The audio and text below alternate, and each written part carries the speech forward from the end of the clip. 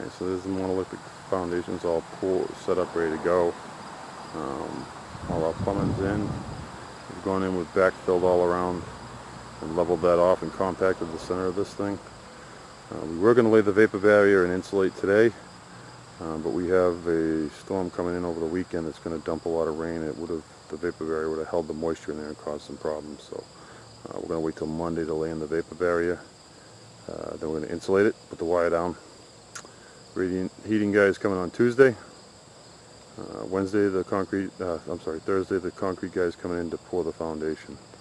So uh, we're just about all set up for him once we put the insulation vapor barrier in there. But uh, a lot of work to the monolithic slabs. Um, I probably wouldn't do this this way again.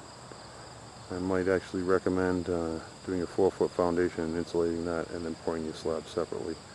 It might be uh, a little more costly in materials, but it'll definitely be a little less labor intensive um, on the job.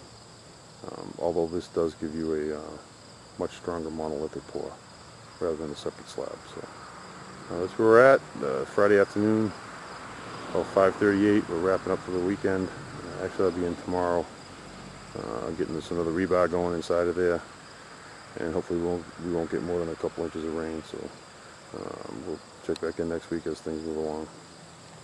All right, so we get the foundation system going in here. Uh, Monday, uh, September 8th. You can see we started, we got a vapor barrier going down and a styrofoam going on top of that. Um, electrician's coming in on top of that. He's running some conduits across. Um, so we have places to run our wire back to our utility space. Uh, we'll have the rest of this vapor barrier down and styrofoam today. Electrician will have his stuff down and we're going to put the wire on top uh, to prep for the radiant tubing to go down tomorrow. So uh, that's where we're at. Alright, so here we are Tuesday, uh, September 9th. Laying the PEX heating down. We have all our geofoam down and our wire on the floor. It's breezy out here, looks like it's going to rain on us. You can see what we did is we, uh, because of the outside perimeter, we actually shortened up the, the distance between our tubes around the perimeter of the building. To add extra heat to the outside perimeter. Uh, starting to lay up this uh, end of the house and then we'll continue down through the whole thing and hopefully have that done by tomorrow uh, noontime. Have all the there. It's uh, Tim Dufilly, our HVAC guy, uh, working hard. A couple of his guys over here. And, uh, that's the uh, radiant heating system getting installed, uh, getting ready to go to pour in the slab, which will be poured on uh, Thursday. So, uh, check with you later. About quarter of seven on Wednesday, September 10th. Uh, you can see what we got going on here. All the geofoam has been laid, all the vapor barriers down. Uh, the radiant guys came in in the last day and a half, laid all that PEX tubing out. Uh, they actually bunched up around the edges and gave us extra tubing. Um, all these stakes you see, uh, the cement guys came in this afternoon, drove their stakes, shot their grades. Concrete's on its way. It's going to be here tomorrow morning at 7.30 uh, and this thing will be done pouring. Uh, electricians came in yesterday, ran some conduits for some future reference stuff. Plumbing stuff's all set, we're all sealed up. And uh, a lot of stuff happened in this room here between the geo lines, all the radiant PEX tube coming up the wall, and our water lines in the utility room. Uh, everything's all prepped, uh, waiting to go, and like I said, concrete's going to be here 7.30 tomorrow morning, and uh, we'll shoot a little bit more of that as we go along. 7.30 Thursday morning, December 11th. First of the concrete going in the hole. Reading guys here, pressurizing the lines, make sure if anything pokes a hole in it we know about beforehand. So, uh, stay tuned. So they're, uh, see what they're doing here. Filling all around the perimeter trenches. Concrete first. Uh, they're going in with a vibrator. Make sure we got good compaction all the way around the bottom. We have no air. we got 60 plus yards of concrete, which is a total of six trucks coming today. Got my guy on the job, along with the three guys from the finish company. Uh, we came in yesterday, staked this all out and graded it all. Uh, HVAC guys, just make sure all my uh, lines are pressurized so we know if we have any air leaks. We'll see it bubbling through the concrete. Um, Don't think we'll have any problems, but we want to make sure. So these guys are just going to keep going around the perimeter, filling all the perimeter of the slab in, and then coming back in over the top. You can see they get the outside perimeter, the forms all formed up. They're down the back side over here. They're just about done filling up the exterior trenches around the building. Um, next thing to do the middles and we'll be in good shape. Uh, you can see they're making progress across the floor pouring it as they float it. We're going around, we're putting our anchor bolts in. And our corner straps, we got two of those on each outside corner. Anchor bolts that we keep on center. So they're getting this roughed out. Go back to float it. This is four. And about a third of the way down to the top So they just about finished pouring the concrete. They're uh, running around and darby it up, flatten it out getting my slope drains in my room, so we got a slope into the drain. He's working that now. I'll be mag troweling the edges. Uh, they're gonna let this pop. They're gonna hit it with a machine.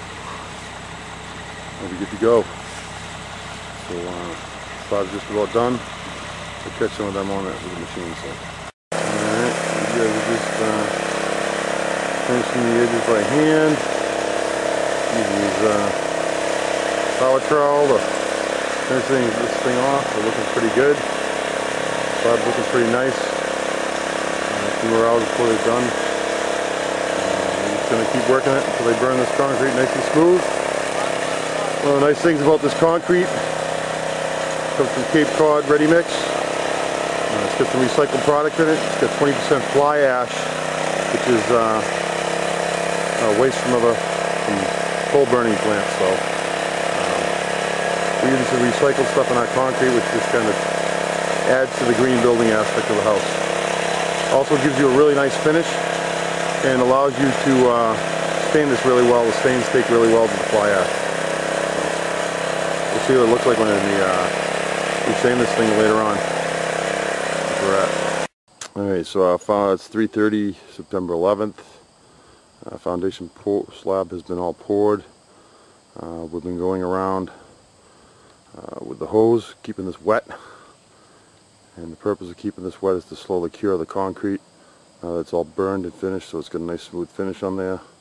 Uh, keeping it wet will slow the, which will make it, uh, will actually make it stronger. It'll slow the, slow the drying, and you'll have a much harder concrete as a result of uh, keeping it wet uh, while it's drying. So we uh, let it dry up a little bit, go around with the hose, soak it down, and we'll do this for the next couple of days to uh, make sure this concrete hardens at a uh, cures at a slow rate uh, to get this as strong as possible. Uh, so tomorrow morning we'll be in here, we'll be stripping these forms off and cleaning this job site up, get ready to start putting sills on on Monday and our walls for our structural insulated panels will be coming here on Tuesday. We have about five days of cure time before they we actually start building on top of this. So if we slow cure it right, a little bit of water, we should be good. So we're going to wrap up this uh, this portion of this slab foundation even though it's not completed. We will do another segment on the slab insulation, the perimeter insulation and how we treat that slab, the edge of that slab to make sure that it's uh, fully insulated and how we do that detail as it ties into the building. Um, so uh, that's our monolithic pour. You can see we've been here wetting it down. Looks nice. Um, uh, we're going to be stripping it tomorrow. Uh, we won't be insulating it for a while. We're going to let it cure for a little bit. Um, we will be building on it before we actually finish the insulation around the perimeter. Um, but when we do start to insulate and how we treat the outside of that, we'll do another little uh, little segment on the perimeter insulation. So, uh, monolithic slab is done. One major step towards completion of the project. Uh, the, roof, the wall panels are actually coming in on Tuesday. Uh, once those are in, the walls will go up pretty quick, and uh, all this long prep work to get this to this point will uh, will happen pretty fast after this. So uh, stay tuned.